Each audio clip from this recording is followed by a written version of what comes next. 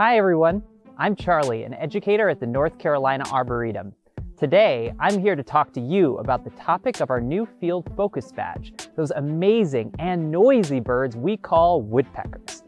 By joining EcoExplore, you too can help scientists to study nature. So let's learn more about those boisterous birds.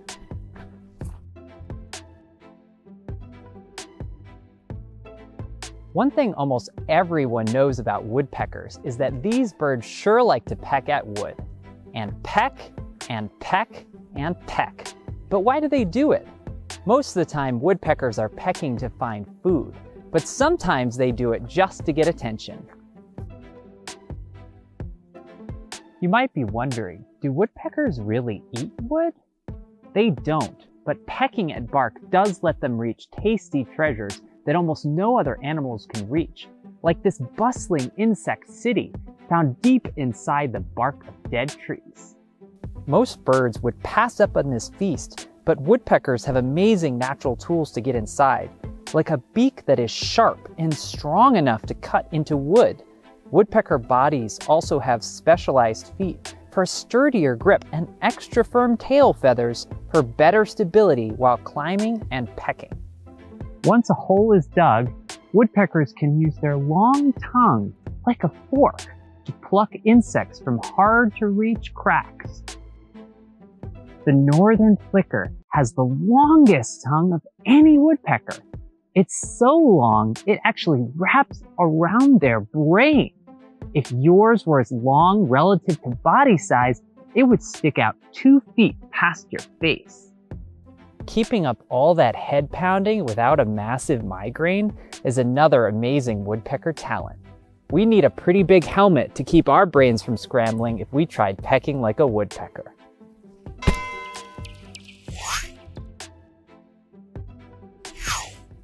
Woodpeckers' expert food finding and appreciation for pecking is unparalleled among birds. Seeing this behavior in action is a great sign you've spotted a woodpecker. Oh, there's one.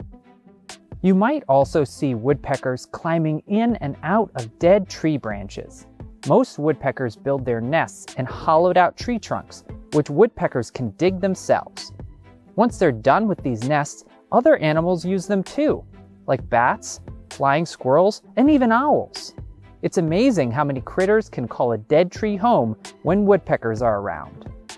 Woodpeckers can vary in size, shape, and color. Although most North American species have some black, white, and red feathers on their body, like this red-bellied woodpecker. It's a strange name because most of its red color is on the head, but we can sometimes see red near its tummy too. These birds are the second most common of North Carolina's eight different species of woodpeckers. The most common and the smallest you'll ever see is the downy woodpecker, they average only 6 inches long and weigh about the same as a pencil. Downy woodpeckers are easily confused with the hairy woodpecker, another native of North Carolina, but the hairy is larger than the downy and has a longer bill. The largest and the loudest woodpecker you'll see in North Carolina is the pileated woodpecker. They get up to 20 inches long and can weigh as much as a soccer ball.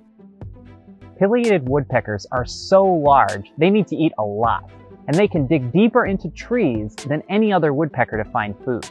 Their forceful foraging sometimes leaves behind these large, rectangular holes on tree trunks.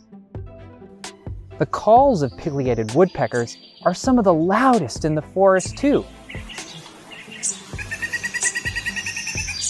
Yep, we heard that one all right. Another species we find in North Carolina is the red-headed woodpecker.